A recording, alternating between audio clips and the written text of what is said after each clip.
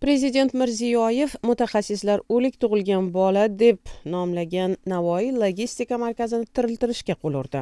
Mikrofon oldida zamira shukur o'zbekiston prezidenti 6 dekabr kuni o'tkazgan yig'ilish to'lig'icha bundan qariyb 10 yil oldin navoiy viloyatida tashkil etilgan xalqaro intermodal logistika markazi shuningdek unga yondosh qurilgan erkin iqtisodiy zonaning bugungi real ahvoliga bag'ishlandi.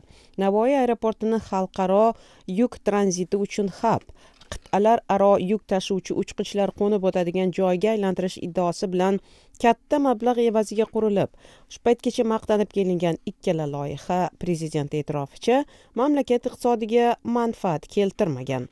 Boshqaruvi korean air kompaniyasiga topshirilgan logistika markaziga avval boshdan barcha turdagi soliq imtiyozlari va bojxona preferensiyalari berilgan va uning yiliga yuz ming tonna yuk quvvati o'tkazish salohiyati iqtisodiy daromad keltirishi kutilgan edi.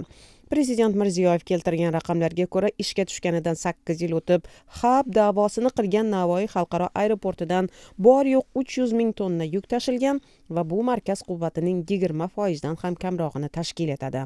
Prezident chiqishida aytilishicha kuniga atigi ikkita yuk samolyoti qo'nadigan ulkan bu aeroportdagi umumiy yuk aylanmasining ikki ming o'n yettinchi yilda o'n oltinchi yilgiga nisbatan o'n bir foizga kamayishi kutilmoqda. Ozodlik yettinchi dekabr kuni gaplashgan xalqaro yuk tranziti sohasi mutaxassislaridan biri navoiy logistika markazini avval boshdanoq o'lik tug'ilgan bola deb atadi.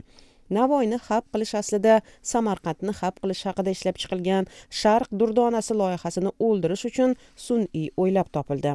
Ikki minginchi yillar boshida bir guruh ishbilarmonlar samarqandni yevropadan janub sharqiy osiyo osiyodan esa yevropaga uchadigan yuk samolyotlari sayyohlar uchun hab qilish loyihasini ishlab chiqqan edi. Ular mantig'iga ko'ra samarqand ham yuk tashuvchilar ham sayyohlar uchun to'xtab bir ikki kun qadimiy shaharni ko'rib yana asosiy manziliga uchib ketishda ideal joy bo'lishi kerak. Kerak edi. Samarqand degan nomning o'ziyoq mashhur brend.